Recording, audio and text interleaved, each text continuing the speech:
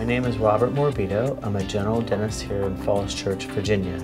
I graduated from the University of Maryland Dental School in Baltimore. I got involved with the laser dentistry because I wanted to find a better way. One of the biggest problems we have in dentistry is that patients hate coming to see us. Why? Because they fear the drill and they fear the shot. I knew there was a better way and we finally found it. The BioLase Waterlase allows us to do all of the dental care that we can without shots and without drilling. The BioLase technology combines water with laser light energy. The result is effectively pain-free dentistry. Not only can we do fillings with it, but we can do gum surgery, we can do gum recontouring, and many, many cosmetic procedures. Our patients are absolutely ecstatic about it. I feel great.